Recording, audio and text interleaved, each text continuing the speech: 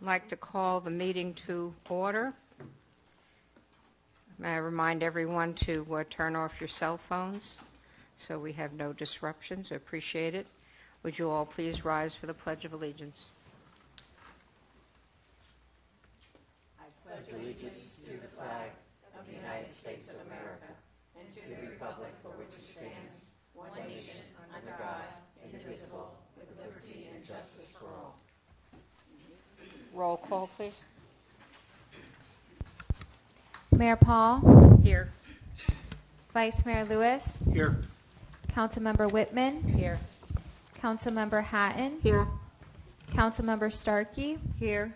Mr. Lemack, Here. Mr. Lewis, Here. Mr. Holste, Mr. Weinthal. Here. Mayor, you have a quorum. Mr. Weinthal is here by phone, correct?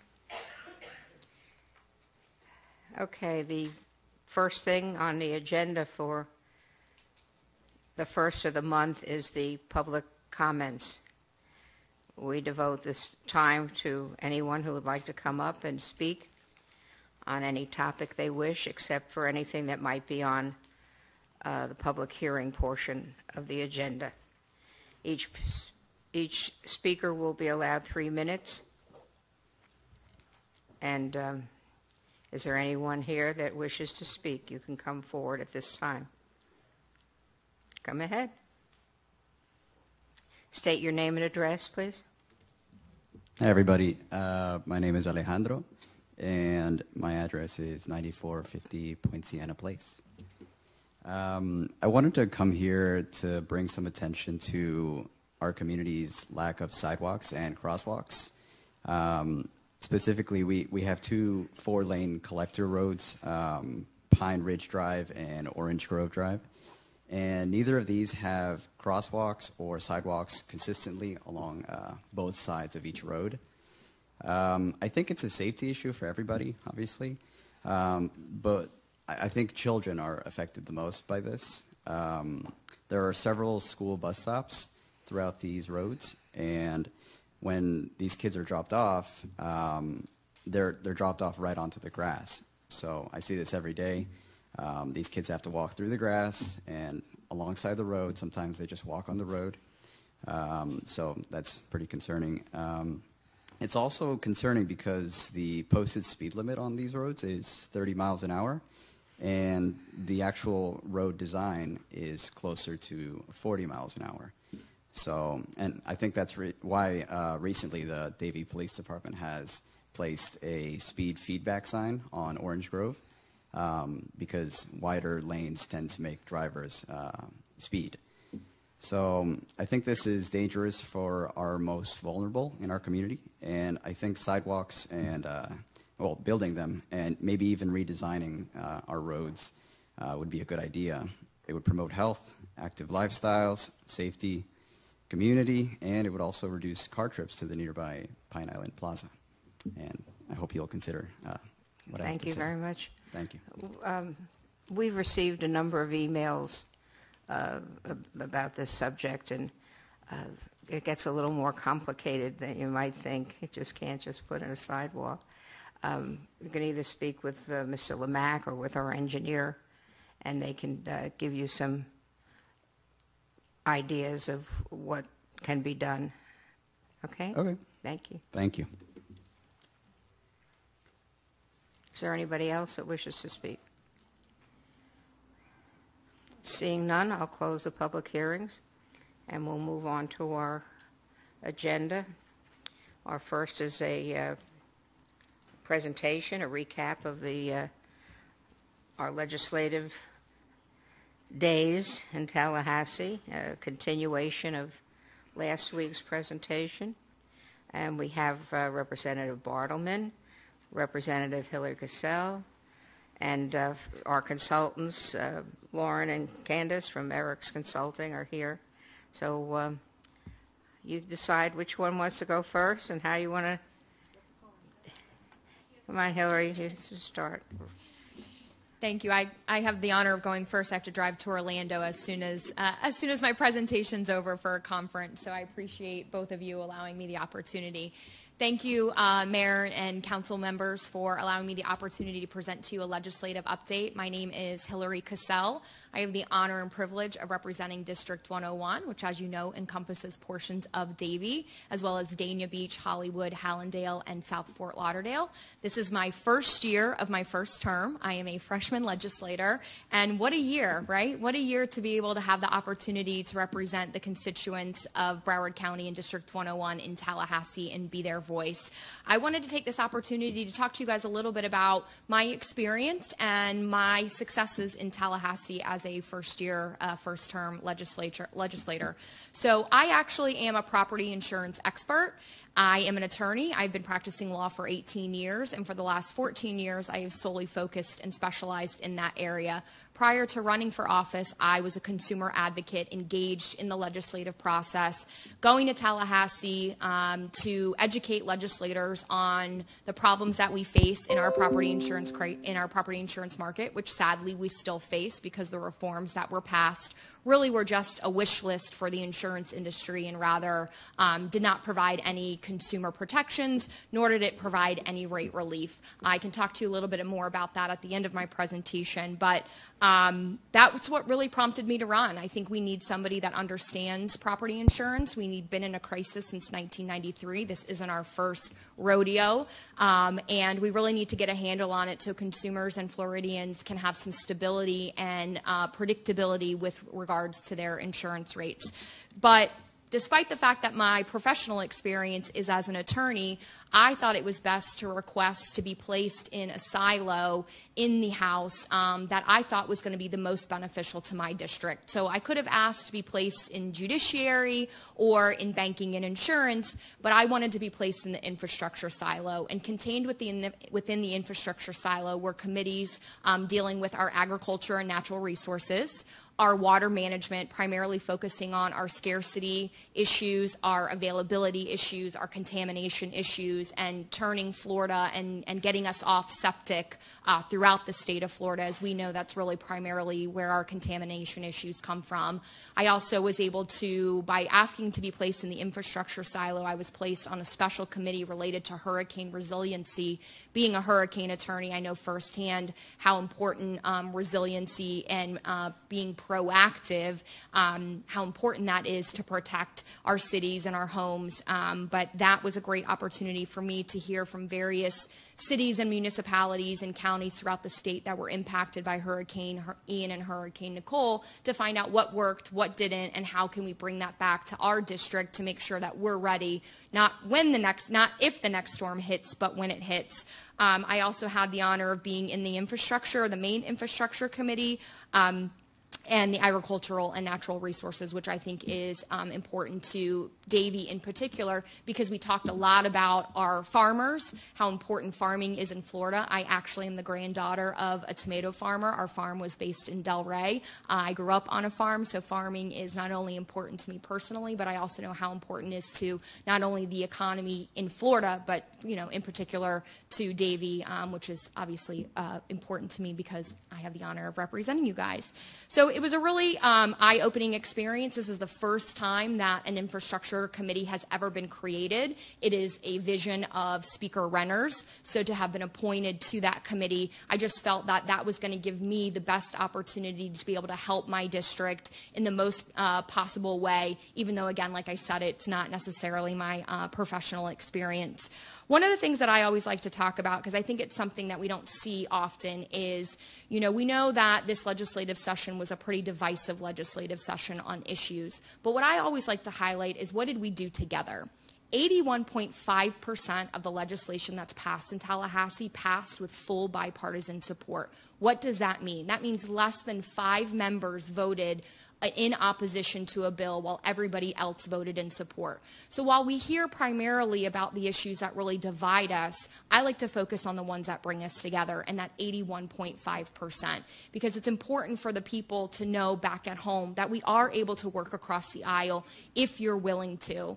And there's an article, there's a, a news outlet called Florida Politics that does an uh, winners and losers of the you know roundup at the end of the legislative session and I was specifically um, mentioned for my ability to build deep relationships across the aisle. And why do I mention that? I think it's important for you as the council to know that your representative, while maybe being in a party that's in the super minority, I am still able to accomplish things. And I'm able to still get things done by working across the aisle, making myself available to make policy better, because at the end of the day, that's what matters. I didn't go there to represent a political party. I went there to represent the people. So to have an organization like Florida Politics specifically state that I am somebody that has been able to fortify deep relationships across the aisle, also while calling me a thoughtful bomb thrower from the back row, um, which that just goes to show my passion and my advocacy for the issues that I do need to fight for.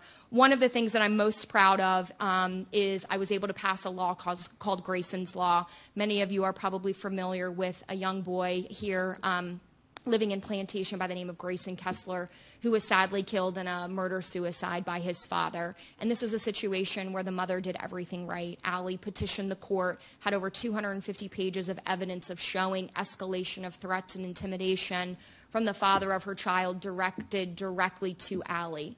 Um, the law, unfortunately, had loopholes and did not allow the court to protect Grayson because the threats were not directed to him, they were directed to Allie. Grayson's law changes that.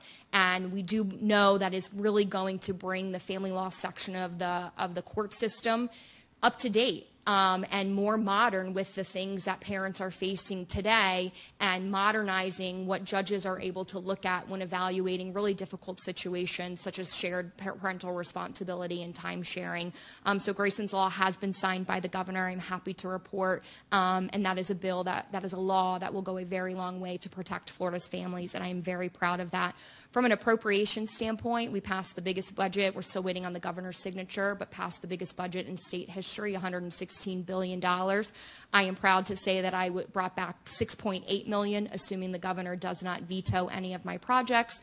I will have successfully brought back $6.8 million back um, to our community. So I am so honored to represent Davie and to have had the opportunity to meet all of you along the way throughout the process. I look forward to continuing and building a strong relationship. You have an amazing team in Tallahassee. I always say my mind is always on the people back at home. So it's always great to be able to connect when you're up there with the people that know what back home means and provide that guidance. And your consulting team does exactly just that. I always felt I knew where you guys stood, where Davie stood on issues. Um, you are well represented, as especially again also with Representative Bartleman. So thank you for the opportunity to present before you. And if I don't know if we're taking questions or if we're passing it along. Thank you very much. She is amazing. She did a great job as her in her freshman year, so I'm very honored to serve with Hillary. Thank you very much. I'm Robin Bartleman. I am your state representative for District 103. I was just thinking how lucky you are that you have so many people behind you. You have Michael Gottlieb, you have Lauren Book, you have Hillary Cassel, and you and, and I and me as well. And for the people who are watching, I represent west of 75 that portion of Ivanhoe. And I've knocked on their doors multiple cycles, and I've got to meet everyone. They're wonderful. But for many years, I served as your school board member. I, I first want to let the people of Davie know how lucky they are to have this town council and the mayor, and what an amazing job they do, and how they really advocate before each session. We talk about issues that are pertinent to Davie. We talk about League of City issues, and they keep us well informed. And uh, city manager uh, Lemack just met with me about a bill the other day that I had a question about and we're working on now. So you have great staff. And I serve on state affairs, so I get all of the bills that destroy your local control. And I can't say enough about LJ and Candace Ericks because they're literally a text away from me. Because I get a bill and I go, well, this doesn't sound good. What is this going to do? And I know LJ is going to go over all the powers that have been taken away from you shortly but it's it's they work hard and they fight, and we file amendments to make them better. So I, I am in the healthcare silo. Uh, former teachers, uh, the mayor and uh, Caryl Hattan. I was in education, fought too hard. They took me out this time. what a surprise. God forbid you have someone who understands the FEFP. But healthcare was a perfect silo for me this session because I've been focusing on a bill for the last three years, and I'm very proud to say that it passed this session, a bipartisan bill, and it has to do with kid care. For people who do not know, um, Kid Care is an insurance insurance for people who don't qualify for Medicaid but are 200% below the poverty level. So these are our working families, and I became familiar with Kid Care when I worked in the school system, and I knew we had paraprofessionals and cafeteria workers and custodians who could not afford the dependent coverage at the school system because it was it would take their whole paycheck. And so and then they made too much to qualify to get the kid care.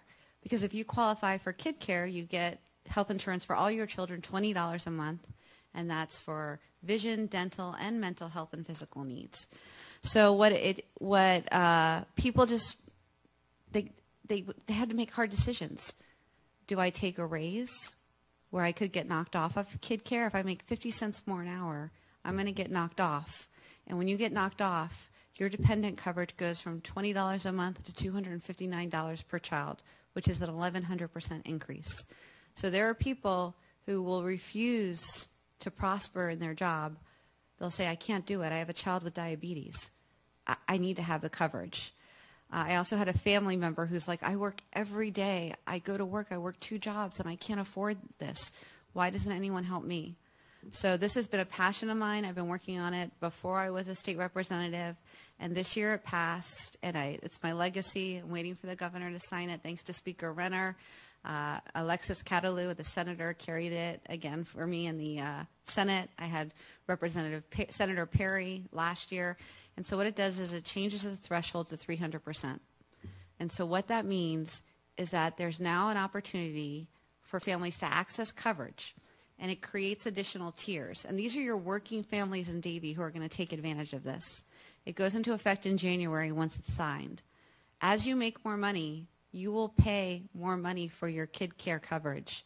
But what happens is, is when you get to the end of the coverage line, when you're about to fall off that cliff, you're going to be prepared to assume the responsibility of the full pay program because we have built you up to that. And that's addressing a very huge fiscal cliff that exists for working families.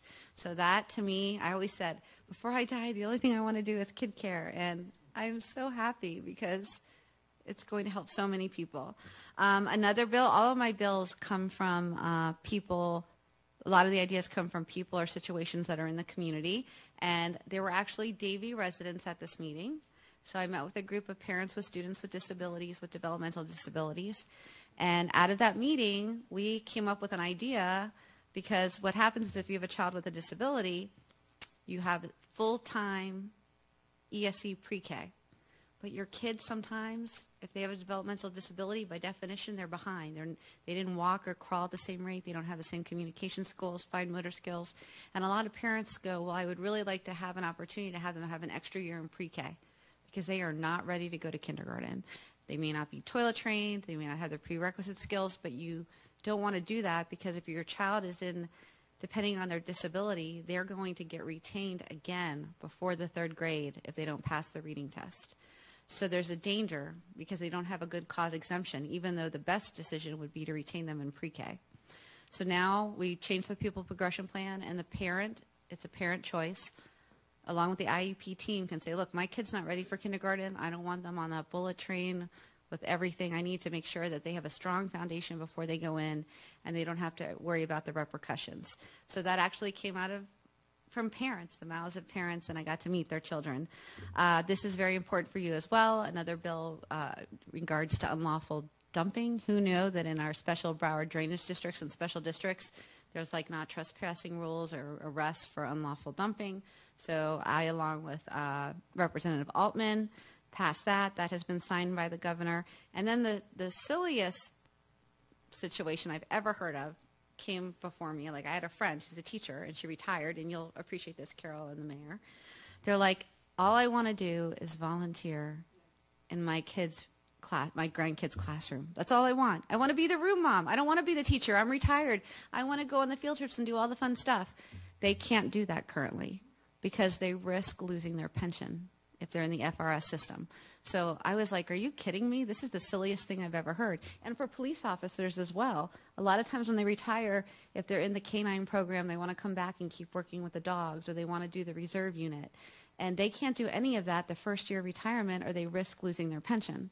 So I'm proud to say that it passed both houses unanimously, that it requires FRS employers now to create a volunteer system so that people can actually retire. These are people with community service in their heart. Look, you have two retired teachers on this dais right here, right? It's in your heart. This is what you do. And to just sit home and not be able to be a guardian ad litem or volunteer at a school or read at a library is ridiculous. So that also got fixed. Uh, in terms of appropriations, uh, the South Broward Drainage District, which impacts part of your city, that has been a labor of love. I know all, where all the pumps are. I, uh, I know how it goes through the C11 canal. You know, I've been working on this multiple years. We've gotten multiple appropriations, and you should know that the mobile stormwater pumps are here. So if you have an emergency where you need immediate drainage, these pumps are like huge. They're, I don't even, they wouldn't fit in this room, but they're huge. They will come out and pump the water, and I know your city manager knows how to get in touch with Kevin Hart. But I was able to get an appropriation that is not very sexy. It had to do with culverts. So when I went to every chair, everyone's got these great appropriations, like for this group home, and I'm like, I need culverts. And first of all, I wasn't really sure what a culvert was, but these culverts are so big, they're, you, you can put a semi-truck to run through them. And you have to have these culverts so the water can drain out through the C11, out to the east coast, or else you're going to have inland flooding where we live. And we already have issues with that, and we know that. So we were able to get the funding for those culverts, which not the most exciting one, but it's great to have, and in the long run, that's going to protect our property. So it's very important. Drainage improvement districts, you border south, you're part of your city borders Southwest Ranches. We know right on Dykes Road there's drainage issues, so everything's interconnected. So I was able to get another drainage. This is my fourth drainage project in uh, Southwest Ranches. And then for those of you who are veterans out there, there's something called the Dellenbach Foundation. And they, many of you know Jeff Dellenbach, former Dolphin player, and he helps veterans in need and children are in need. And usually they come in when they don't have other charities don't have enough resources. So we're able to help them with their vet program, get an appropriation for them, and an appropriation for Music Society because nobody thinks about this. But if your kid is in a band, you have to rent an instrument, you have to get the uniforms, you have to pay for the trips. That's why they're always selling candy bars. But sometimes parents have to come out of their pockets to do that. And so they actually have a program where they help parents. And so I was very excited about that. Um, in terms of insurance, um, I know everyone's hurting out there. Uh, most of us did not vote for the property insurance bill because it did not have any protections for the consumer, nor did it help the, help the consumer. We had a bill that our uh, delegation presented that would have frozen costs on insurance, would have had an elected insurance commissioner, which makes sense because none of us would have reelected the insurance commissioner because none of us can afford to live in our homes anymore. Uh, one thing that I need to make people aware of is that I, my last call on this topic was actually here in Davie. Um, so if you cannot get any insurance and you have to go to Citizens, if you're at the replacement cost on your house, not the cost of your house, how much it costs to replace, if it costs more than $700,000 and construction costs have gone up over 35%, we're not talking mansions here. They do not have to cover you. So a resident just sold their house here because they could not afford their insurance. So they could not get citizens, so you have to get the bank insurance, and that bank insurance was going to cost them $38,000 a year. So they had to walk away from their dream. So for the last three years, I have been fighting to change the threshold. Why should we change the threshold? Because if you live in Miami-Dade County, your threshold is a million dollars. Why are they treated differently? Why is Monroe treated differently? So I've been working on this multiple years. I brought forward a bill. We got a study done. Uh, there's a lot of resistance. I did have one person who was really, this year I was smart. I didn't want to put it in a bill because if your bill isn't heard, you can't amend it. So I was going to everyone I could think of, can you please amend this onto your bill, please? So I'm getting some traction, so hopefully next year because Broward County is really impacted and it's very scary. If anyone out there is having issues with their insurance or needs help or needs to get to the Office of Insurance Regulation, you can contact me, Robin Bartleman. Um, we try to help everyone. It's I get phone calls all the day. Senior citizens that are going without any insurance because they own their home, but they can't afford the insurance. So it's breaking my heart what's going on for people with people. So make sure you call me. My cell phone number is 954-668-3662. I'll say it again. 954-668-3662. You'll actually get me on the phone and I'm going to let them cover all the rest. There are a lot of really crazy, terrible bills, and I will continue to fight and be a champion for public education and for families. And uh, I think between having Hillary there and our uh, our leader, Dris- uh, Representative Driskell, that we're going to find a way to help people with insurance because we can't sustain this anymore. We can no longer sustain this. So I appreciate everything. I'm going to leave it up to your experts here to cover all the rest. I love all of you. Thank you for always being there for me. Thank you very much. We appreciate your time and effort. Candace and Lauren, did you? Uh, these are two of the hardest working people, and the reports that you send us each week, or, or Lauren especially, uh, uh, are so thorough and so invaluable. They're uh, they're very helpful. and Appreciated. Mayor, we thank, we thank you very much, and the council, um, and to your staff. Could you speak into the mic, please? Yes. Thank you, Mayor. Thank you to the council. Also um, to your staff. They're amazing. Leona, Phil, uh, town manager. We can't, you know, yourself, we, we 100% can't do this job without the input and the quick responses that we get all through session and during committee weeks. So we greatly appreciate it. I will not take any of the credit for the reports. Lauren is amazing, and she knows this. Uh, every bill that comes out, every amendment that comes out, she sends that and get quick responses, but I want to make sure that you know how appreciative we are of the relationship. We love the town. We love working with you. And, uh, you know, our work is um, right around the corner. We start early this year. We go back um, up to Tallahassee in September. We have committee weeks in September, October, November, December, and start legislative um, session uh, formally in January. But I want to thank all of you who come up for Broward Days and for the League of Cities Days. It's important. The advocacy is important. The help is important, and the presence is important. So with that, I'm going to turn it over to Lauren to go over the good and the bad. And always know that we are a phone call, text, or anything away, but we greatly appreciate it. We're very happy to be home. Thank you. Um, so uh, first off, I, I want to also give kudos to Representative Bartleman. Um, she is absolutely fantastic. Everything that she was saying, uh, especially about the kid care, I don't think that she can talk enough about that because it really was a tremendous accomplishment that a lot of people have been wanting for years. So to have a member of the Broward delegation be able to pass that was, was absolutely wonderful. Um, so we want to thank you for your leadership.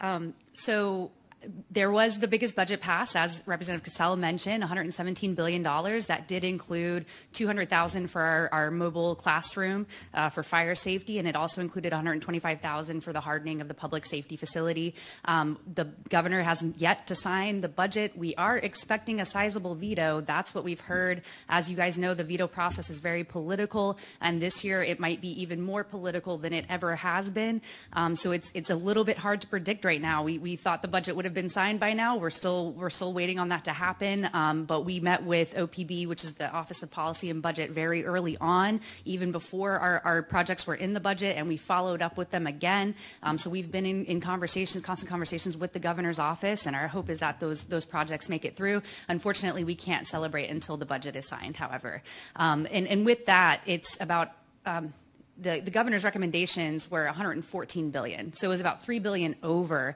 the government, governor's recommendations. However, they did find additional revenue that came in over projections, I think something of the tune of like $5 billion. Um, so whether or not that plays in, they, they were able to put 11 billion into reserves. They gave uh, all state workers a 5% raise. Um, they did quite a bit for FRS uh, uh, as well.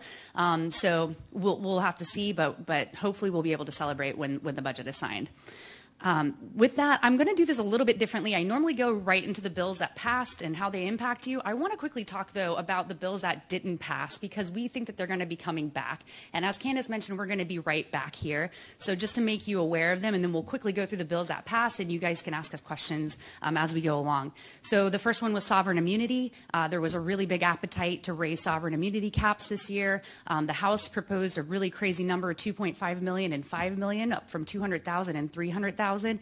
The Senate kept at 400,000, 600,000. Where we feel like we fell, because we had a lot of conversations with, with key House members and also the Senate President's office, we felt like everyone was going to agree to maybe a, a $100,000 increase at the end of the day. Everyone wanted an increase, but they were they were really looking at making sure that it really wasn't going to be a huge increase at the end of the day. Um, however, with a little bit of luck and, and some hard work in there, the bill actually stalled. Um, so we were happy about that. We do expect it to come back, however. Um, there was another bill, uh, and I want to thank uh, Councilwoman Starkey for her help with this, uh, with residential permitting. Um, it would have significantly reduced times uh, to review permits. Um, and we expect that bill to come back. Uh, we're going to be in contact with Representative Esposito, who was really the main driver behind that bill. She's over in the southwest uh, uh, corner of the state.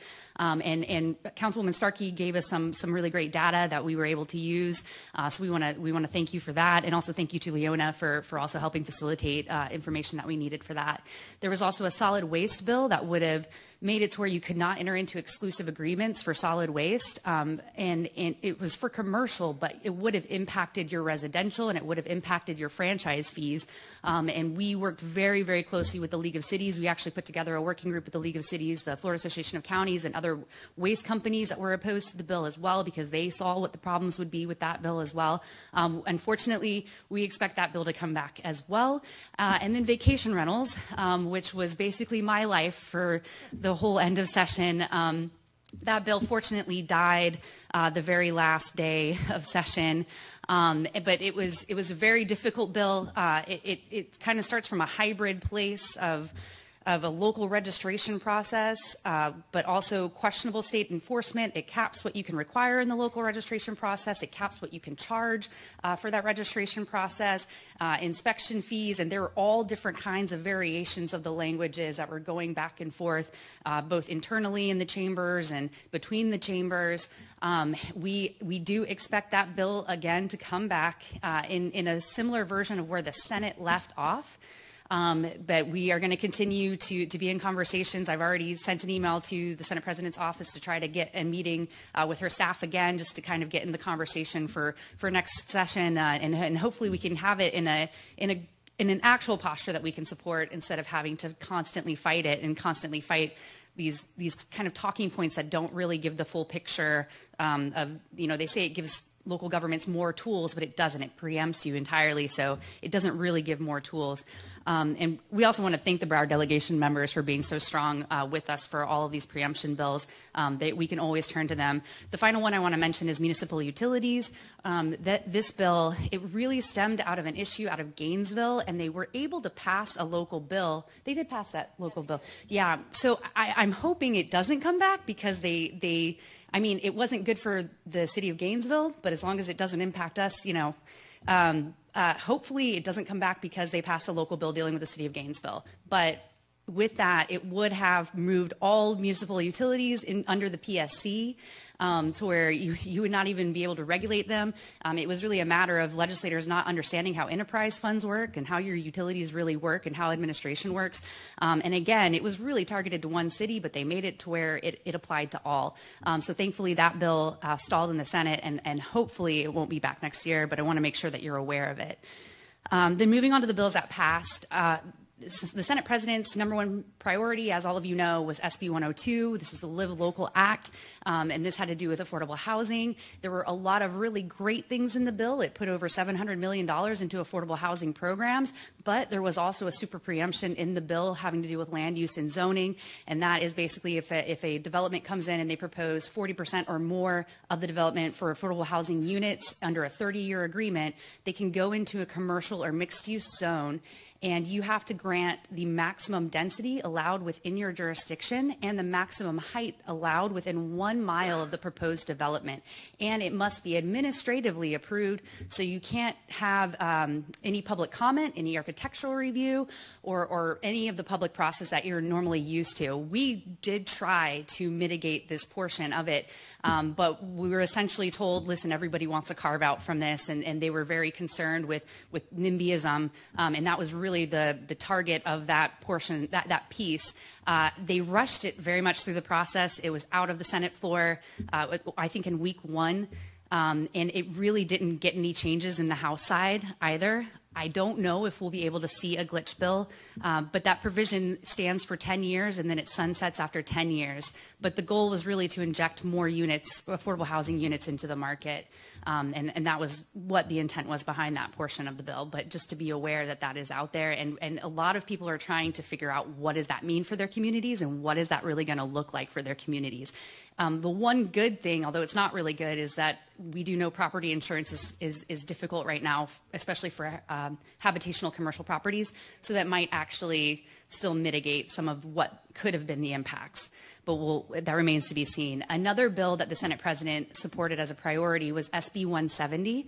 This bill uh, we saw last year, it was SB 280. You might re- recall there were dueling proposals last year um, that we had to work through and, and um, uh, we, we spent a lot of time with Senator Hutson last year getting a compromise on these two bills. One of them that passed would have allowed businesses to sue local governments if you pass an ordinance that affected their profits. That bill was vetoed by the governor. The bill that didn't pass last year was then fast tracked through the process this year. And that bill, it creates a rocket docket system to where if a if a business comes forward and challenges one of your ordinances, and it doesn't apply to a lot of different ordinances, emergency ordinances, growth management, et cetera, we were able to carve a lot out. But if particular ordinances that kind of impact businesses and regulatory ordinances like that, if they challenge it, there's an automatic stay put on that ordinance. The court must then give priority to that challenge. So it's a, that rocket docket system.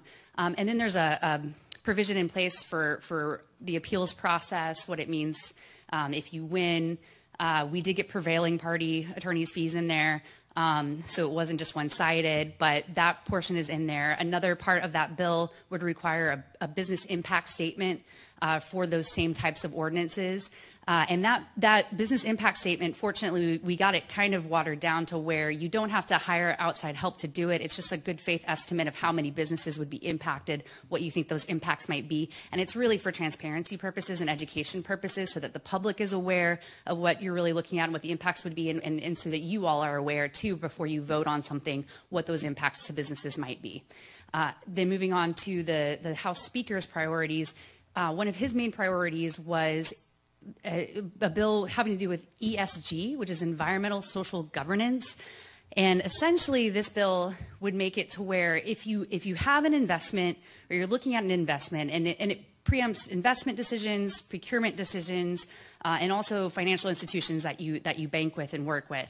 Um, and essentially, they're saying that if it, that you cannot take into consideration any type of ideology, whether you want to make the environment better, climate change, um, uh, you know, just various, any type of thing that's driven by an ideology has to be driven by a pecuniary financial decision. So you can invest in green energy projects if you think it's going to make you money, but only if you can show that it's going to make you money. Like, hey, the trend is going this way. You know, this this company is is um, they have a lot of cash flow, et cetera. If you can show that type of thing, then you can still invest in it. But you can't invest in it just because you want to invest in green energy projects because of what it will do for emissions, et cetera. Uh, it, that also applies again to procurement decisions. So procurement decisions have to be based on the best deal for the town. They cannot be based on any type of social agenda or any any type of deal like that. Um, I also want to mention Form Six. So all city commissioners and council members, town town councils. Uh, current elected officials will have to file a Form 6 instead of a Form 1, and that applies to all of you uh, July 1st, 2024, you'll have to file for 2023. So be keeping that in mind.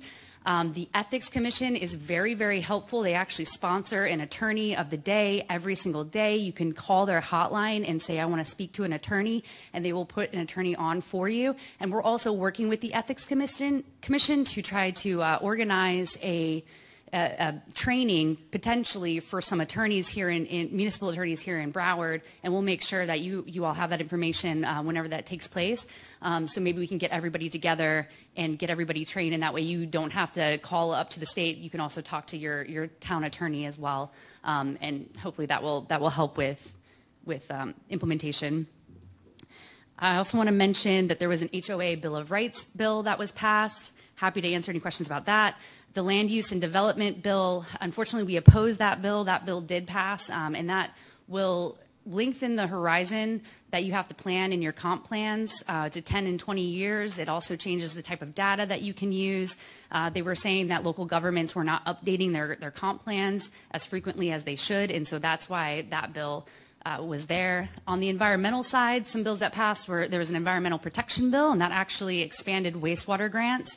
Hopefully, that's going to help get more money to areas that aren't in a BMAP. As you might recall, we've always had some trouble with lake wastewater grants and, and water projects because we're not within a BMAP. So this would expand eligibility.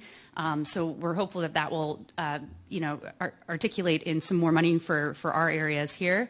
Um, same thing with uh, sea level rise bill that passed. That also expanded resiliency grants as well for resiliency planning. And additionally with that bill, it also has certain state funded public structures uh, right now, if you're building on the coast, you have to do a sea level rise projection before study before you can build. This expanded it to where it's not within the coast because of inland flooding. Uh, so that that would be helpful for our area as well. Um, I also want to mention too, there was a fertilizer preemption that was slipped into the budget implementing bill at the very last minute. I actually, I had some questions when uh, Representative Cassel and I were talking just a little bit earlier. I told Leona I'm going to get some clarification on it because it might impact your. It it may mean that your fertilizer ordinance cannot be enforced for a year. I'm going to clarify if that is the case or not, and we'll make sure that you guys get that answer. Um, and then with that, I'm happy to answer any questions. Uh, I know there's a lot of bills that I didn't touch on, but there's a lot to go over. So, I, and I feel like I've taken too much Certainly appreciate your time. Thank you.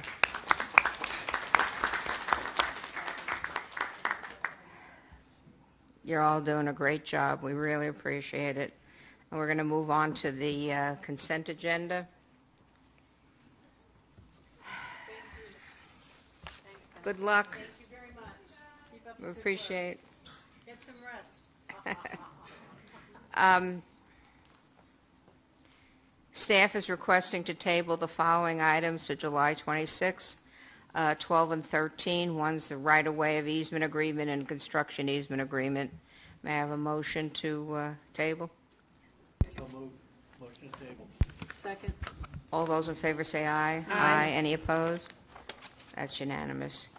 Um, The applicant is requesting to table variance number 21 to August 2nd. May I have a motion? So moved. Table All- and 21. second, thank you. All those in favor say aye. Aye. Any opposed? That's unanimous. Thank you. On the consent agenda, I'm pulling one, two, and three. Councilmember Whitman, do you have anything to pull? Anybody else have anything to pull? No, ma'am. Okay, thank you.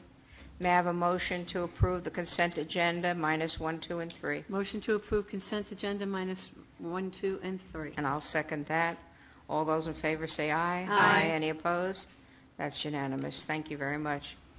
Uh, The first proclamation will be uh, read by Councilmember Whitman on uh, Safety Awareness Month.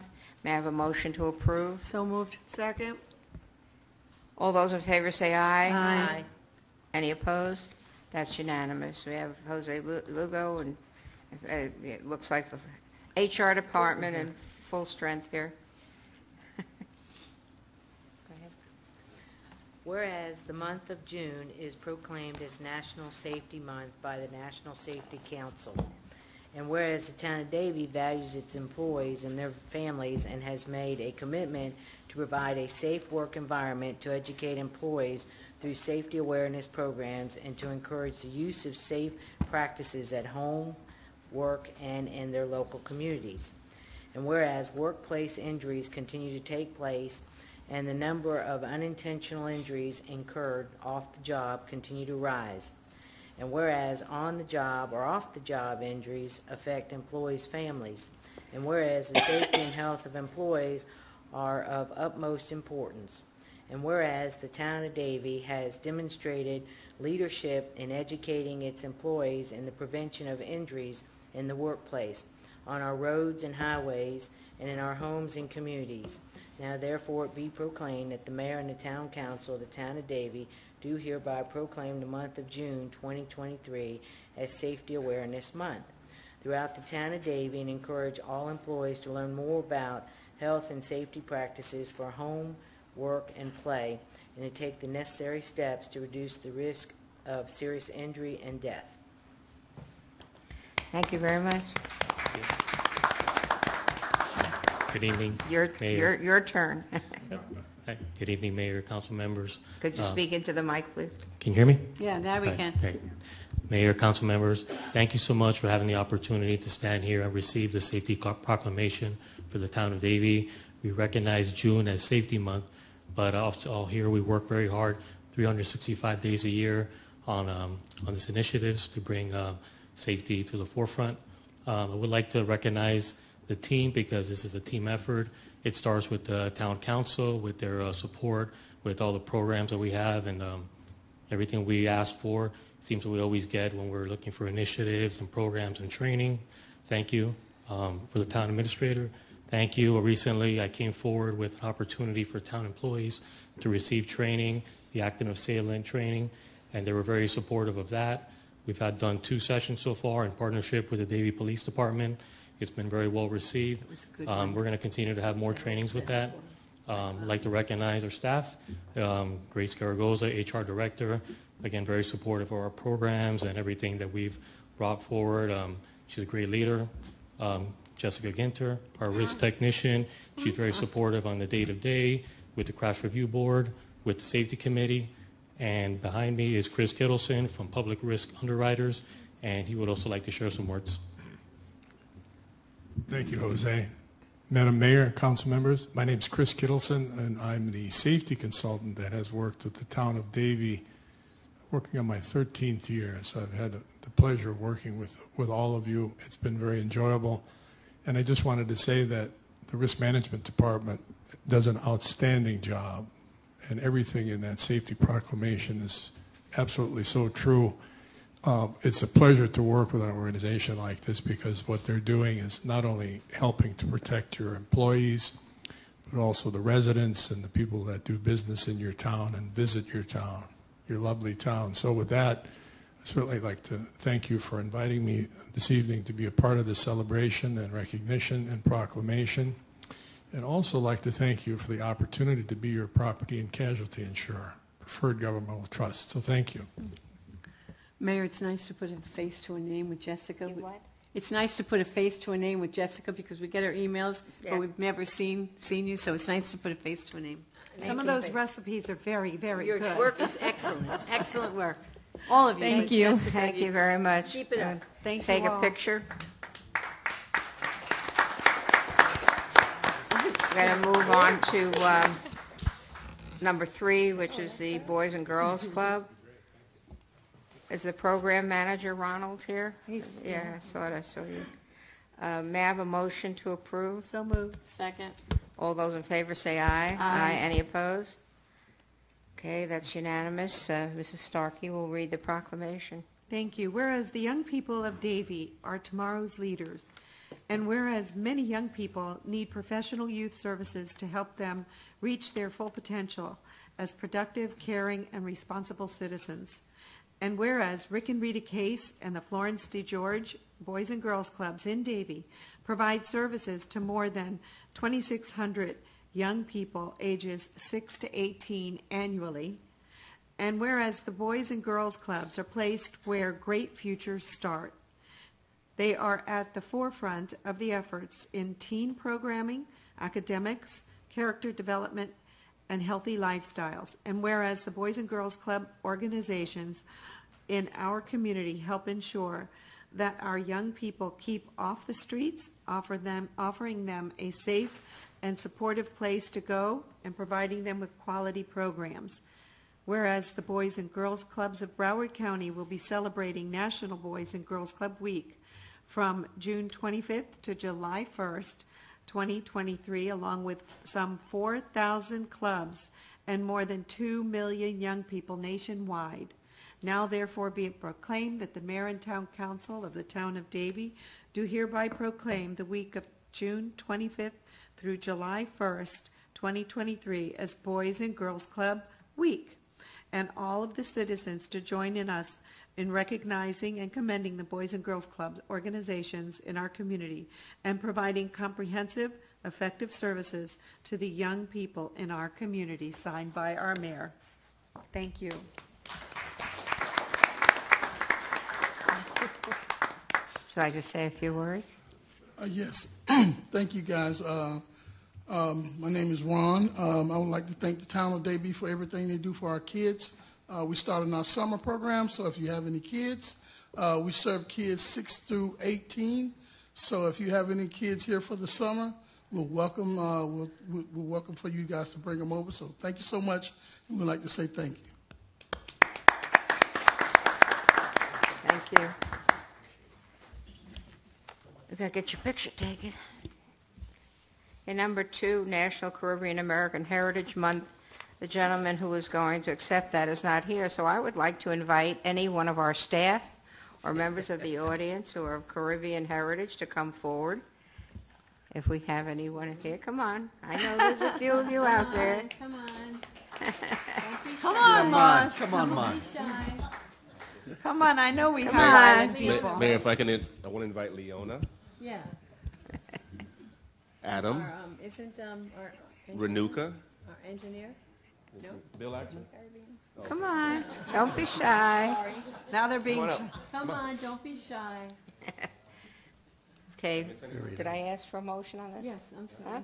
Um, Motion for, uh, Did we? did we National that? Caribbean, no, we May I have a didn't. motion to approve? Motion to approve. Second. All those in favor say aye. Aye. Any opposed? That's unanimous. Thank you. Uh, uh, Vice Mayor will read the proclamation. Whereas America's diversity is and has always been the defining strength of our nation. In every generation, our society, spirit, and shared ambitions have been refreshed by wave after wave of immigrants seeking out their American dream. And whereas throughout our history, Caribbean Americans have brought vibrant cultural languages, traditions, and values to strengthen our country and add new chapters to our common story. And whereas Caribbean Americans have made our country more innovative, more prosperous, they have enriched our nation's arts and culture, our public institutions, and our economy.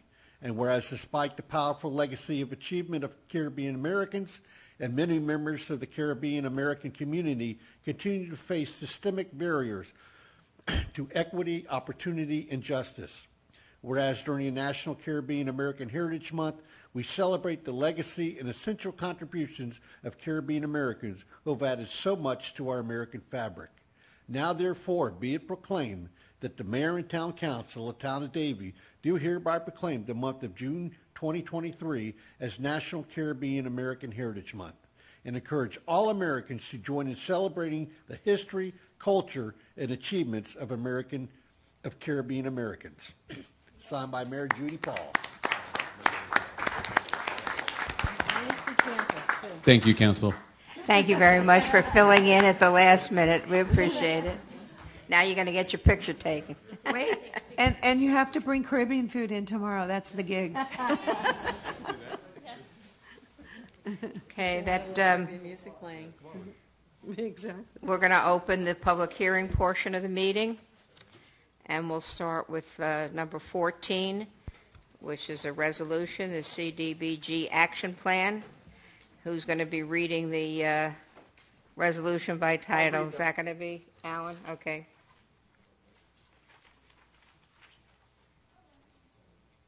You want me to start? Yeah. You're on, Alan. A resolution of the Town of Davie, Florida, adopting the Community Development Block Grant CDBG Action Plan for fiscal year 2023 through 2024, which includes the Community Development Block Grant CDBG program budget, authorizing the town administrator to execute all necessary certifications and grant-related documents, providing for conflict, providing for severability, and providing for an effective date. Thank you very much. Um, Is there anyone that wishes to speak for or against this item? You can come forward at this time. Seeing none, I'll close the public hearing.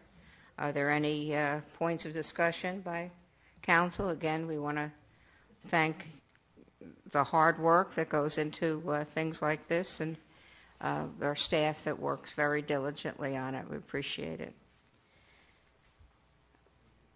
Could I have a motion to approve? Motion to approve? Second? Roll call, please. Vice Mayor Lewis. Yes. Councilmember Whitman. Yes. Councilmember Hattan. Yes. Councilmember Starkey. Yes. Mayor Paul. Yes. Motion passes. Thank you. And we'll go to a few of the uh, second and final readings.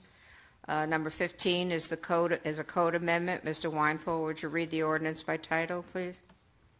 Yes, Mayor. An ordinance of the Town of Davie, Florida, amending the following sections of Chapter 12 Land Development Code. Article 9, Rural Lifestyle Regulations, Division 1, generally. Division 2, Scenic Corridors Overlay District. Division 3, Rural Lifestyle Development Regulations. Division 4, Site Design Regulations. And Division 5, Open Space Design Overlay. Providing for conflict, providing for severability, and providing for an effective date. Thank you very much. This is a public hearing. Anyone that wishes to speak for or against this item can come forward at this time. Seeing none, I'll close the public hearing. Uh, Any questions or concerns? Okay. May I have a motion to approve code amendment? Motion to approve 15 code amendment. Is there a second? Second. Thank you. Um, Roll call, please. Councilmember Starkey. Yes. Vice Mayor Lewis. Yes. Mayor Paul. Yes. Councilmember Hattan. Yes. Councilmember Whitman. Yes. Motion passes. Thank you. Number 16 is the comprehensive plan amendment, second reading. Mr. Weinthal, will you read the ordinance by title? Yes, Mayor. An ordinance of the Town of Davie, Florida, amending Policy 13.1-3 in the Plan Implementation section of the Future Land Use Element of the Town of Davie Comprehensive Plan, providing for conflict, providing for severability, and providing for an effective date. Thank you very much. This is an open public hearing. Anyone wish to speak for or against this item, come forward at this time. Seeing none, I'll close the public hearing and ask for a motion to approve the comprehensive plan amendment. Motion to approve comprehensive plan amendment. Is there a second? Second. All the, uh, roll call, please. Councilmember Hattan. Yes. Councilmember Whitman. Yes. Mayor Paul. Yes. Vice Mayor Lewis. Yes. Councilmember Starkey. Yes. Motion passes. Thank you. Number 17 is also a code amendment. Mr. Weinthal, would you read the ordinance by title? This is the second reading. Yes, Mayor. An ordinance of the Town of Davie, Florida, amending Chapter 6, Article 1, Section 9.1 of the Town of Davie Code of Ordinances titled Mitigation of Code Enforcement Liens, providing for conflict, providing for severability, and providing for an effective date. Thank you very much. This open public hearing. Anyone that wishes to speak for or against this item may come forward at this time. Seeing none, I'll close the public hearing. Any questions or discussion from council? Okay. May I have a motion to approve Code Amendment Number 17? Motion to approve code amendment number 17. Is there a second? Second? Roll call, please. Mayor Paul. Yes. Councilmember Starkey. Yes. Vice Mayor Lewis. Yes. Councilmember Whitman. Yes. Councilmember Hattan. Yes. Motion passes. Thank you. Number 18, these uh, is a first reading, but the second reading will be on July 26th. Um, Code Amendment. Mr. Weinthal, would you read the ordinance by title? Yes, Mayor. An ordinance of the Town of Davie, Florida, creating Chapter 16, Article 8, Section 16-137 definitions, and amending Chapter 7, Article 5, Section 7-71 definitions, providing for severability, providing for conflict, and providing for an effective date. Thank you very much. This is an open public hearing. Anybody wishing to speak on this item may come forward at this time. Seeing none, I'll close the public hearing. Any questions from anybody up here? Uh, May I have a motion to approve Code Amendment 18? Motion to approve code amendment 18. Is there a second? Thank you. Roll call, please. Councilmember Whitman. Yes. Vice Mayor Luis. Yes. Councilmember Starkey? Yes. Councilmember Hattan? Yes. Mayor Paul? Yes. Motion passes. Thank you. Number 19 is also a code amendment. Mr. Weinthal, would you read the ordinance by title? Yes, Mayor. An ordinance of the Town of Davie, Florida, amending the following sections of Chapter 12, Land Development Code, Section 12-33, General Regulations. Section 12-34, Standards for Specific Uses. Section 12-208, Requirements for Off-Street Parking. Section 12-503, Definitions. Section 12-541, In General. And Section 12-548, Flood-Resistant Development, providing for severability, providing for conflict, and providing for an effective date. Thank you very much. This is a public hearing. Anyone wishing to speak can come forward at this time. Seeing none, I'll close the public hearing. Is there any comment or questions from, no, seeing none? Um, I'll Close, we close the public hearing. Um, May I have a motion to approve number 19 code amendment? Motion to approve number 19 code amendment. I'll second that amendment. May I have a roll call, Madam Clerk? Vice Mayor Luis? Yes. Councilmember Hattan? Yes. Councilmember Starkey? Mayor Paul? Yes. Councilmember Whitman? Yes. Motion passes. Okay, thank you. Uh, Quasi judicial, number 20 is a variance. Was it Um, tabled? This is, uh, Mr. Weinthal has the, is it, uh, quasi, Mayor, quasi's been waived. okay, thank you. Would you please read the uh, variance by title?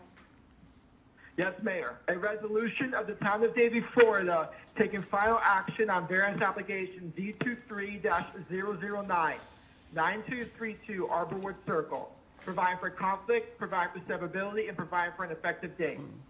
Thank you very much. This is a public hearing. Anyone wishing to speak on this can come forward at this time. Is the applicant here?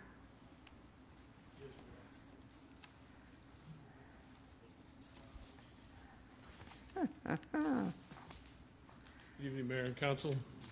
Would you like to make a statement? Your- State your name and address, please. Certainly, Gerard Starkey, 9232 Arborwood Circle, Davie, Florida. First off, I'd like to thank the staff for their consideration of working through this application process for the entire time. They've been great to deal with. Uh, I'm asking that, it's really not even a deck. It's actually four and a half inches off the ground. I'm replacing an existing deck that the previous owner had put up, uh, come to find out without permitting. So the HOA said that if I get a variance from the town, they would allow the deck to be replaced. So I'm asking the council to consider this request. Mr. Quigley, is- do you have anything to add? Uh, No, th- there's a, there's a, uh, a letter from the HOA or a correspondence from the HOA with their, with their decision. Uh, Staff's gone through the usual uh, analysis, and we provided a, um, a a graphic that shows better the, uh, the town setback requirements in green versus what's actually built on, on the survey. It's an unusual development because it's uh, zero uh, setback on one, one side and then 10 feet on the other side. Other than that, I'd be glad to answer any questions that you might have. Thank you. I'm going to close the public hearing. Um, Anybody have any comments? I know um, I'm just, I I have to stay consistent. Um, You know that I've had a history uh, with uh, variances, and that um, there has to be a hardship. And uh, I don't, I don't see the hardship here, other than it's already been built after the fact, yes? I had some comments when you get it. Huh? When you're through, I have some comments. Yeah, okay, I've been calling you. Okay. uh, From what I understand, a- and I don't see it in, in my backup, uh, the neighbors have okayed this. I'm, I'm asking Mr. Starkey, and I'm asking, I guess, our staff. Well, st- staff can answer it. Yes, the, the staff report includes a map showing the property owners that provided letters of no objection. And this is a deck, correct? Just, just, I'm reading this right. This is just a deck. It, it's, it's really two things. It's partially a um, uh, concrete pavers, and then the, the raised deck is, is also in the, in the setback area. Why, why does this need a variance? Because It's- the. It's not a building. Because he built it without a permit. He did, the free It- zone it did. In the, in the zoning districts, the, um, there's a, a minimum yard required for, for most residential, uh, zoning districts. And the minimum yard, we, we all call it a setback. It's the part of the yard, it has to be, you know, grass and trees and not, and not structures. There's some exceptions to that, like, uh, air conditioners, equipment and things like that could be within five feet. But in this case, it's ten feet on one side and five feet on, on the rear. And those, those setbacks aren't provided, they've just been filled in with structures. Is it okay with engineering as far as flooding? Engineering did not raise an issue about, about it impeding flooding. It's really more of a quality of life issue, you know, and every, every different zoning district that we have tries to create a certain style about the, the amount of setbacks that they have and the heights and those kinds of things. And it's really, a- it boils down to a quality of life issue. It's not a matter of uh, a public safety issue or anything like that, but it's, it's a matter of uh, quality of life. It seems to me the only quality of life it would affect would be Mr. Starkey. It, it's, it's nobody seeing it, it's just a deck. Were you there, were you the original builder, or was that there before, when you moved in? Uh, No, council member, I was not. It was there. I'm sorry? It, it was there when I Thank moved you. in. I couldn't hear you. It, Thank it would, I'm sorry, it was in disrepair. It's a very small parcel, so uh, the deck allows a better usage of the property. A lot of other owners that have put in cement, where I chose to put in wood, I thought was more in keeping with the town's natural environment.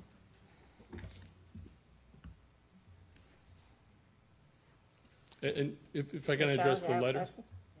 Are there any trees? Are there any trees that are on the, I, I'm looking at it as, I guess, the, is this the north side? Are there any trees, she's asking? There- There are community trees outside of the property. That's outside the property. She's talking about inside, I think. No, Yes. the, the parcel is way too small for any trees. There's landscaping there that's been put in. I have Okay. Numerous pots and plants. Okay.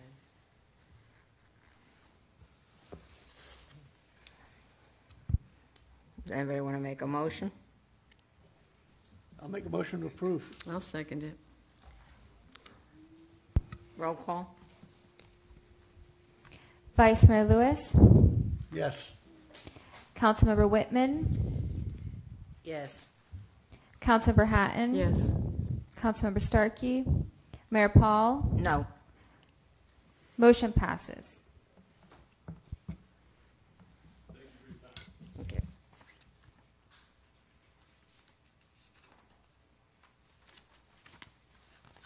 Okay.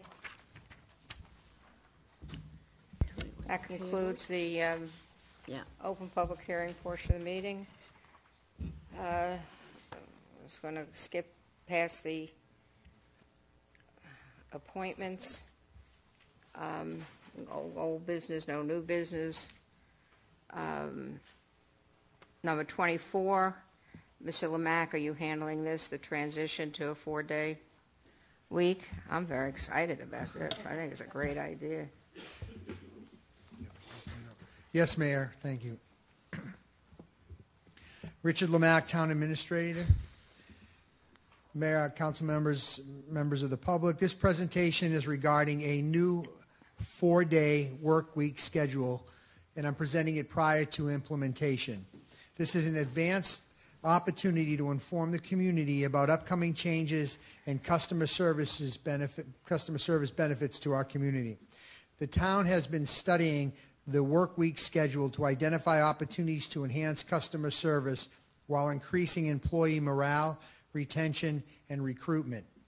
It has been determined by the town that this would, we would benefit from a, from a work week transition from five days to four days, a transition that many government agencies and businesses have undertaken with positive feedback. As such, the town is modifying operational hours to extend services via a four-day, 10-hour work, uh, per day work week. The four-day work week will begin on August 3rd 2023, and the new schedule for Town Hall and other administrative offices is Monday through Thursday, 7:30 a.m. to 5:30 p.m.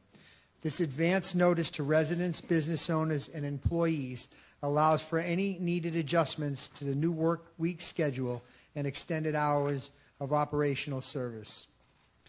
Our staff will be on site earlier and will leave later.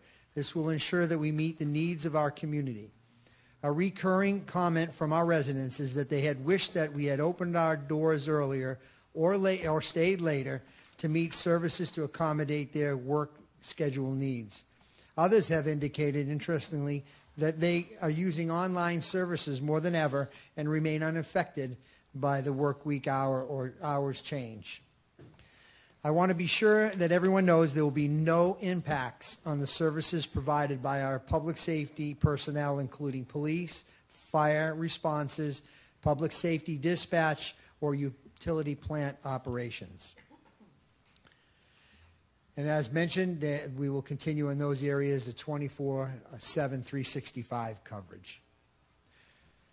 So, which departments are included in the change? The departments included in this change are the town hall, where we're at right now at the Pine Island Park, including building, engineering, town clerk, utilities, customer service, parks, recreation, cultural arts, and administrative offices. The Community Services Division, which is located at 4700 Southwest 64th Avenue. Also, the Davie uh, Fire Rescue Public Works Lobby at 6901 Orange Drive. The Davie Police Lobby at 1230 South Nob Hill Road. And Utilities Department Administration, uh, Administrative and Customer Services offices. As mentioned, I just want to say it again, is that police, fire, utility plant operations continue to operate uh, seven days a week, 24 hours a day, 365 days of the year. There are some exceptions um, to this four-day work week. As we have year-round recreational opportunities, programs, and amenities, the Pine Island Multipurpose Center, which is a main hub for our indoor programming and recreational activities and rental opportunities, will continue with its regular, op- regular operations. They will open Monday through Friday, 8 to 9.30 p.m., and Saturday and Sunday from 8 a.m. to 5 p.m. The Pine Island Fitness and Aquatic Center will continue operating Monday through Friday, 5 a.m. to 9 p.m., and Saturday and Sunday, 8 a.m. to 5 p.m. The pool area will operate Monday through Friday, 5 a.m. to 8 p.m., and Saturday and Sunday from 9 a.m. to 5 p.m. There will be no changes to the hours of operation for the town's park and recreational amenities. Town parks, playgrounds, and restrooms will continue nor- normal operations from 9 a.m. to sunset, except for Driftwood, Shenandoah, Waterford, and Waverly Parks that close at 9 p.m., and Pine Island Multi, uh, Pine Island Park, Bamford Sports Complex that closes at um, 10 p.m. To ensure that the community is informed and prepared in advance of the upcoming changes, we have several ways in which we'll share this information. We're kicking off our first launch of this information today through discussions. Later this week, we'll disseminate a press release that includes frequently asked questions about the four-day work week. We'll be sharing this on the town's social media platforms, Facebook, Twitter, Instagram, and Nextdoor. We're going to dedicate a page and a banner on the town's website. We'll share this on our um, on uh, Davie Update magazine and weekly newsletters. Informational signs will be displayed around town. The use of bus benches will be implied. We'll share the information with the Davie Cooper City Chamber of Commerce, use flyers, posters, and we'll also have it on our on-hold messaging system. And although we've had extensive communication with our employees, I'm going to ask the town clerk to distribute a letter to you all that you have. This letter will be sent and distributed to all our employees to let them know exactly what's included in tonight's presentation, and they'll be getting this letter um, tomorrow. With that, if there's any questions, we'll be happy to address those for you. Mayor, Mayor. Mayor. Yeah, I may have missed it, but in your early part of the presentation, but, um, so we have all the support from our unions and, um, from what I understood when we spoke. Is that correct? Yes. They're supportive of this, so it doesn't have any I just want- problems with our, Well, I just want to make it clear, we do have their support and we do have exceptional relationships. It's not something that they um, have control over, but we don't do that anyway. But we Yeah. have worked cooperatively with them and they are supportive of it, yes. okay, thank you. Yeah. Well, I know we've been talking about it for a long time. I know, we, we suggested this years ago, and uh, it's, I think it's, you know, you're, you're here anyway, it saves money for gas, it saves travel time, um, and then people will have enough time to make arrangements if they need to for, for childcare and things like that, I think, so. But uh, I, I, I'm, I'm excited about it.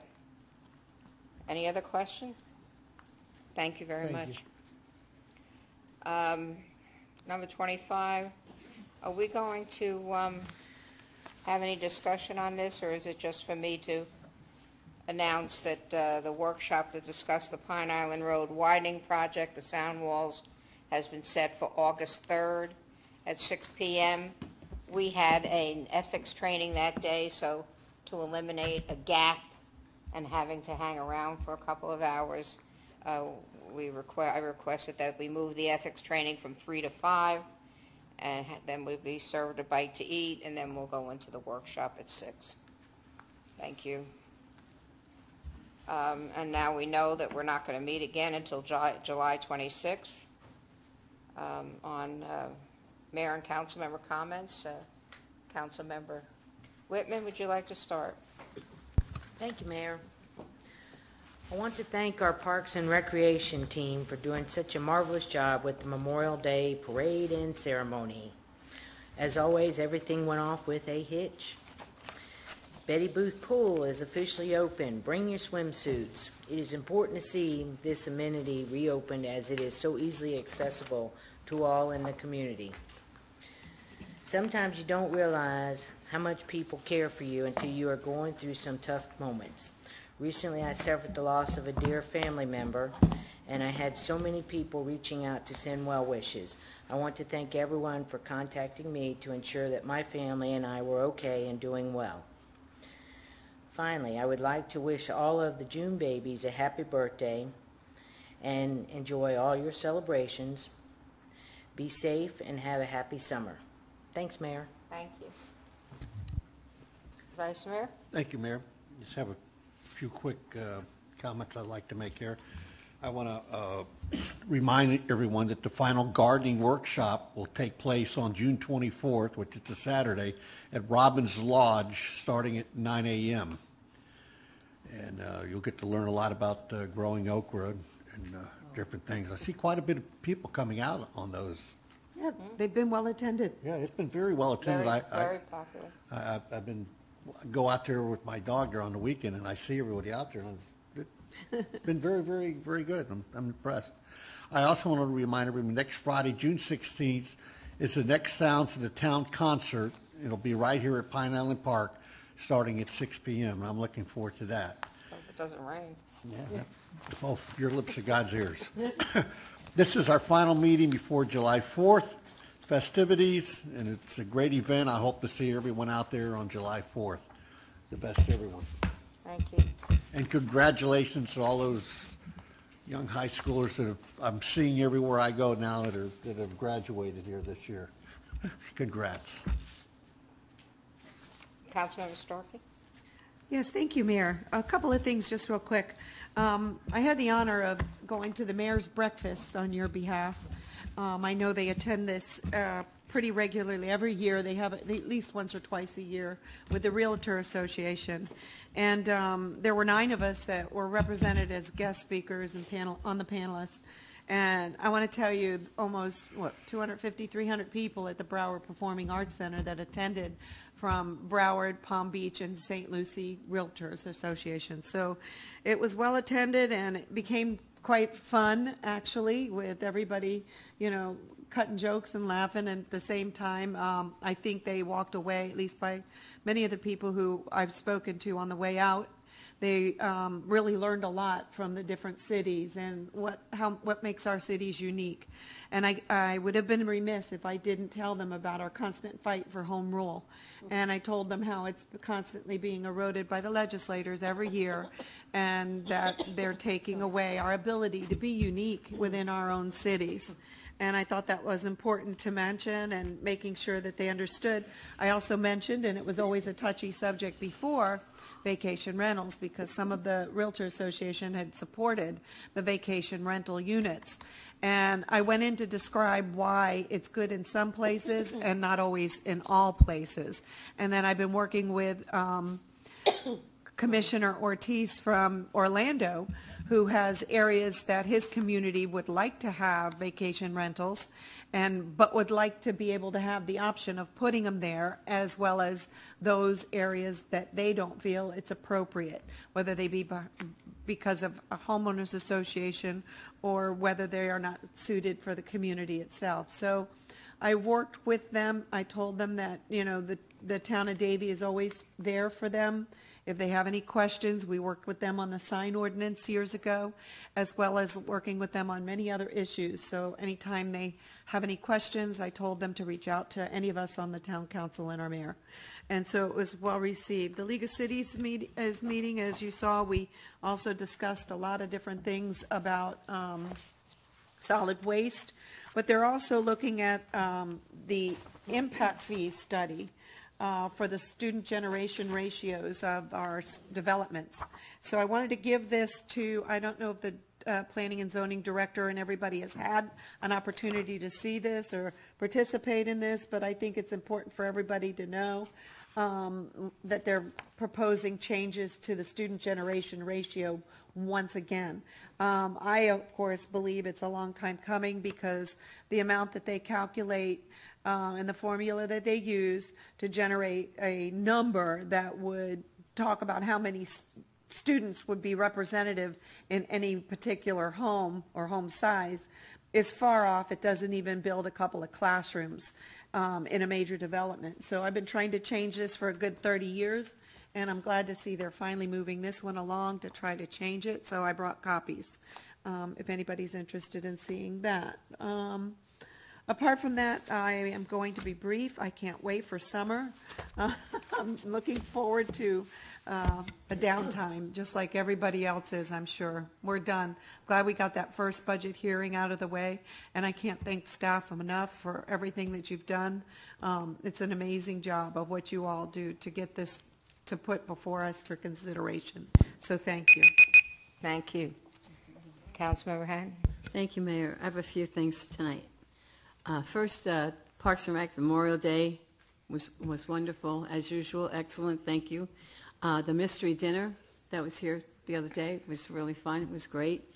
Um, graduation season, as Councilmember said, uh, Luis said, um, Councilmember Whitman and myself have been attending a few graduations, and um, the last one we went to was Western. I, I want to congratulate Chief Kinsey and Mr. Fernandez Lorea, whose son graduated and Chief's daughter graduated. I don't know if there's any other parents in here who had children graduate this year, but congratulations. Anybody else have students graduating today? Oh, Grace had one. Okay, and Grace. So I wanted to say that too. That's great. Another one might, you know, be on the way. They're on the way.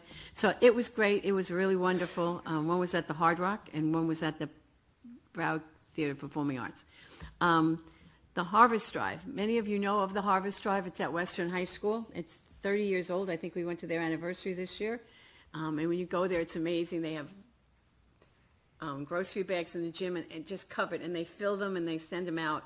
Well, they're moving. They're, they need more space, so they're just the boutique is moving. I, I thought they said the food too. The okay. food too. Oh, I, I, I could be wrong, but boot, they have a boutique there, and it's moving. It's gotten larger, and they need children's teen clothing, men's clothing, shoes, linens, household items, anything that you, that's in good shape and, and can be gently used in working order can be used uh, for t- uh, children helping children. So if anybody needs information on how to contact them. Do they have an address there for where they moved to? Uh, yes, I'm sorry.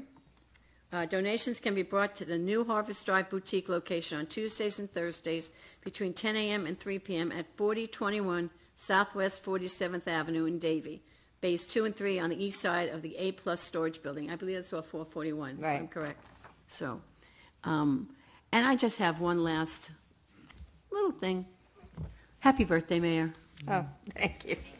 Thank you. Happy birthday to all of you. Yeah. Marlon's June too, yeah. June 11th. Oh, happy birthday, Marlon. Thank you. And anybody else, Vice Mayor? You always covered, so I just figured you got it covered. All right, I have a few things I want to look at. The first one is I think there's a loophole that we need to close, and that has to do with design variations on developments where the uh, developer can get incentives and do things that uh, don't necessarily have to be, as I understand it, we don't have to vote on it. We can say that we don't approve of them, but the variations are included in the site plan, right? So we would have to deny the site plan in order to deny all the variations, because you can't take them one at a time, right? Is that correct? You can certainly discuss them one at a time as part of, You- the- I can't hear you. you can, the council can certainly discuss them one at a time as part of the site plan, but yes, they are, they are kind of rolled into the site Yeah. plan approval. Well, you know, I see it as a loophole where the, the developers are getting a lot more than we might hope for them to have in a project. And um, I'd be willing to meet with you and, and discuss this with you. Uh, we have something coming up on a, a, an agenda that has something like, what, 10 variations, and some of them I find very egregious.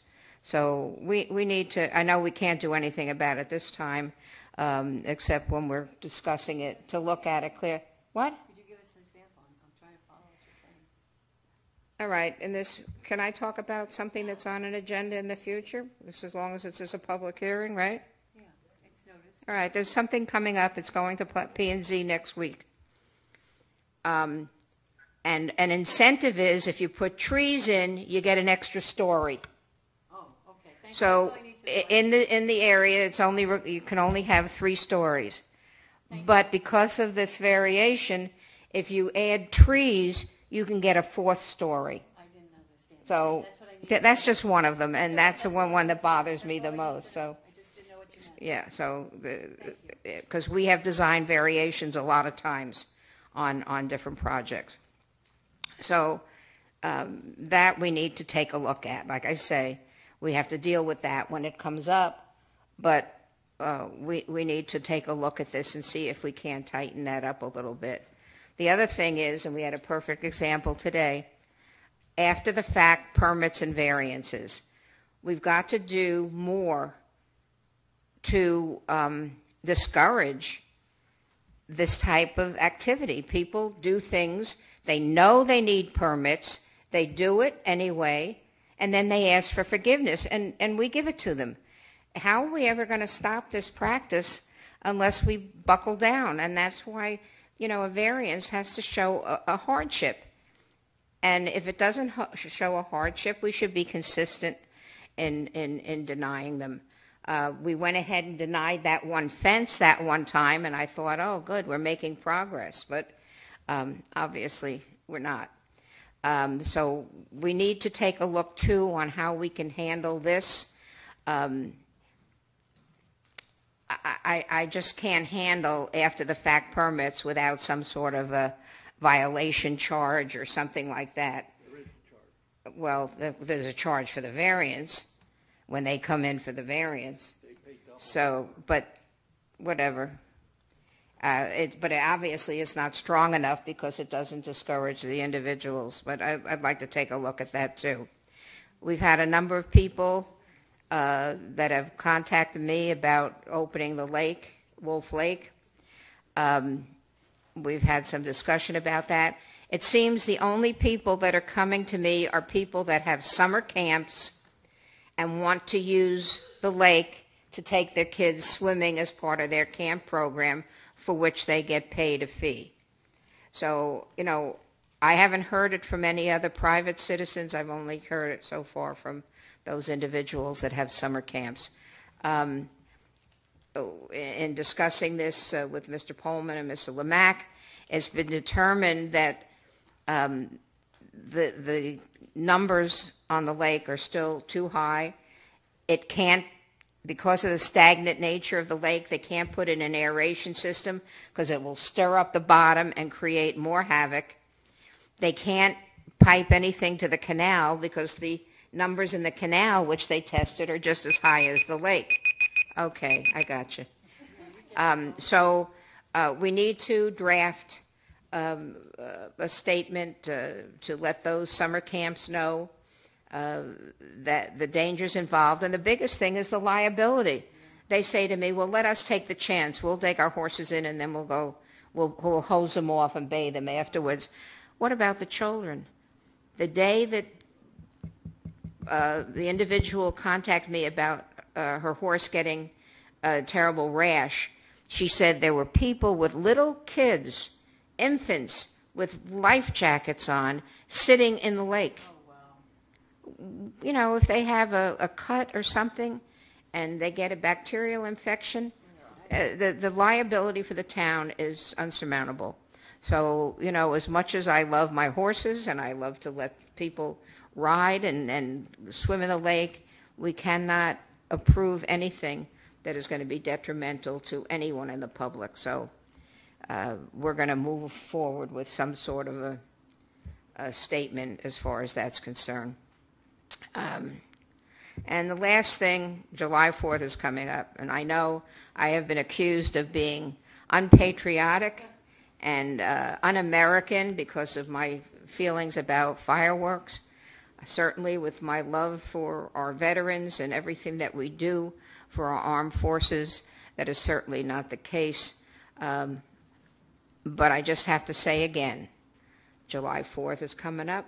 The fireworks are coming up. We say you shouldn't have fireworks when a thousand feet of livestock. We have so many horses over here on 92nd Avenue. And I just, I feel that it's a little hypocritical that we continue uh, with the fireworks and uh, some of the people move their horses, others have to tranquilize them. But, um, you know, we should still be mindful of the fact that we are a horse community. We're a community with a lot of veterans uh, that suffer uh, from loud noises. I mean, we even had an incident with a veteran that lived near the rodeo arena when they were doing practice there with the police, and and he was so traumatized by the gunfire, it was it was quite quite a concern. So, you know, people don't realize uh, what the traum the traumatic uh, part of the fireworks is, and uh, you want to sit and if we lived on the beach, it would be something else. You put a barge out on the ocean and, and you watch the thing. But um, I was thinking, where did we have a body of water we could do it? And I was thinking Veterans Park, but then we have no place to park. So, huh? Well, we tried something at Vista View already, and they, you can have fireworks there, but you can sit and watch all the fireworks, but you can't hear the explosions, and that's what the people didn't like. So that made us unpatriotic. So. Anyway, okay, I vented. Thank you. Mr. Lemack? Thank you, Mayor. If I'm, I'm going to ask for a little leeway. I have a few things that I need to do tonight because what? little leeway in my time tonight be- Oh, okay. because uh, we're not going to meet again for several weeks, and there's things I want to share with you. Um, the first thing I just want to tell you in March of 2023, uh, the town of Davie submitted a grant agreement through the Florida Local Government Cybersecurity Grants Program.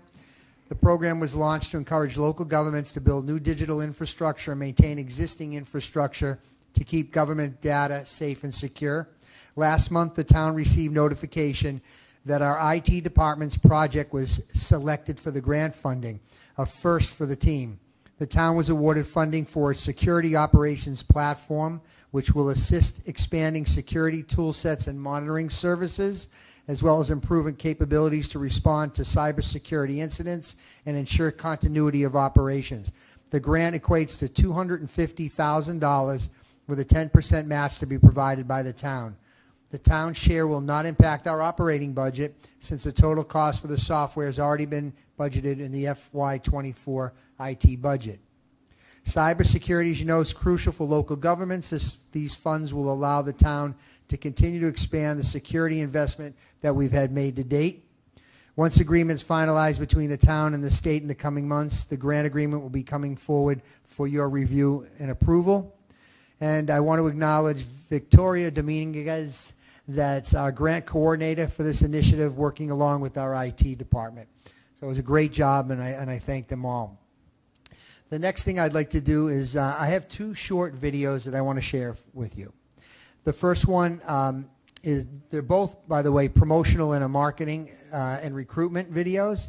The first is a police recruitment video, and I'm going to ask just Chief Kinsey if he'll come up just for a minute and introduce the video. Chief? Good evening, Mayor, Vice Mayor, Town Council, Administration staff. Steve Kinsey, Chief of Police. Uh, I know you've heard me talk about recruiting probably endlessly and the challenge of us trying to recruit the best of the best men and women to the Davie Police Department. So in the summer of 2022, we entered into a partnership with Nova Southeastern to develop the first ever Davie PD recruiting video. Uh, they were a great partner for us under the leadership of Dr. Grace Telesco, if you know her. And uh, we collaborated with them to do the filming and the planning and the editing. So fast forward to here, after months and months of planning and filming and editing, uh, we have a finished product that I want to show to you tonight. Uh, one of the things we did differently is most police recruiting videos are just about the police department, and it's the SWAT team breaking down the door and the motorcycles riding around. What we wanted to do was highlight the town of Davie and show people that if you come work for the Davie Police Department, you get immersed in the Davie culture, you get to live, work, and play in Davie to make our recruiting video stand out. So if I can borrow three minutes and 24 seconds of your time, I'll have Suzette uh, play the video for us.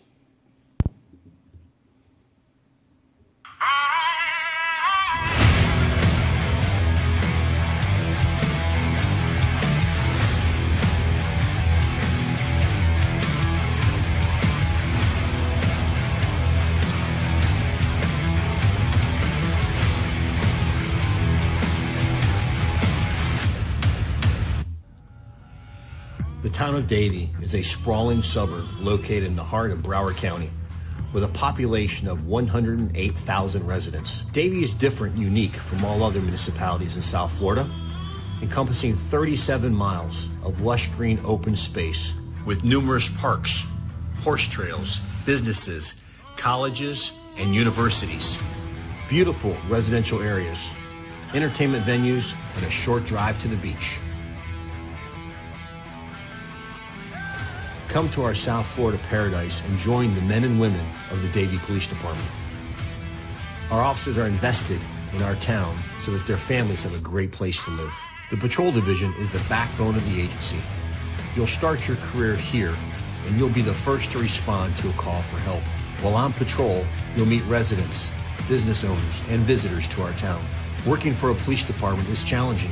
You will quickly learn that our residents value us. Depend on us and we're there when they need us. The Davie Police Department has 300 members comprised of sworn personnel and professional administrative staff. You'll find the specialty units you're looking for, including the mounted unit, dive team, motor unit, criminal investigations, SRT, community policing, and more. What was once a quiet farm town is now a unique, thriving, growing community. We're ideally located near the Fort Lauderdale Hollywood International Airport and Port Everglades. You can easily catch a flight or cruise of your choice, or attend a local sports game with the many national professional South Florida sports teams in Davie's backyard. Also, don't forget about our great weather year-round. The Davie Police Department offers you a lifelong career to success. You have the training, technology, and equipment for modern-day policing. Our training prepares us for any scenario. It could be a resident call for service up to a critical incident response. So why choose Davie Police Department for your law enforcement career? Did you know you can retire after 20 years of service? Did you know you get a take-home car? Did you know that you will receive a $5,000 state of Florida incentive pay for becoming a police officer and an additional $2,500 sign-on bonus from the town of Davie. These are just a few of the many reasons to join Davie Police Department. If you have the heart, determination, and commitment to help others, make the decision to be a public servant and choose Davie PD. Contact us. We'll help you take the next step to make the Davie Police Department your home. Davie is the town where you can live, work, and play. Come join the Davie Police Department and be part of something great.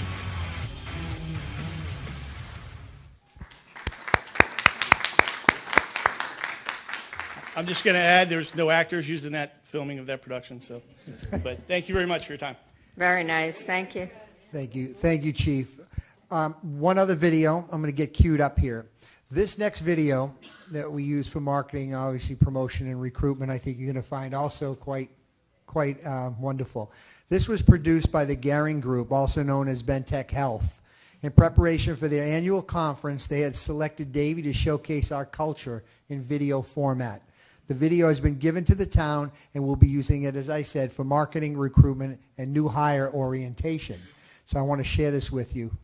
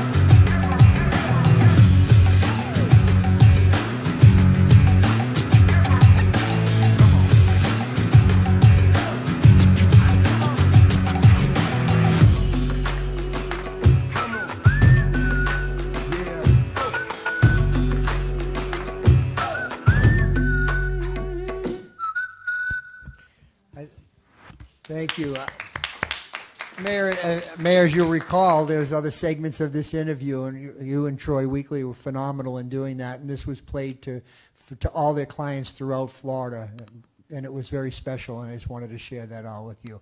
With, with that being said, um, thank you. Have, I, I'd like to say have a nice summer. We'll catch you in July into July, but we'll we know we talk daily. So thanks for your commitment, and we'll see you soon.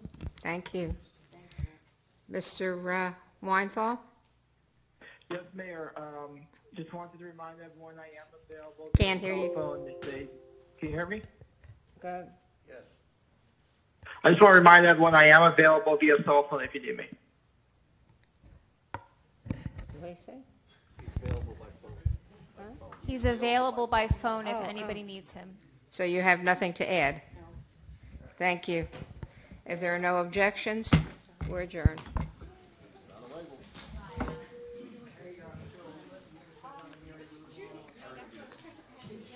What? She asked me to pass that to you. Well,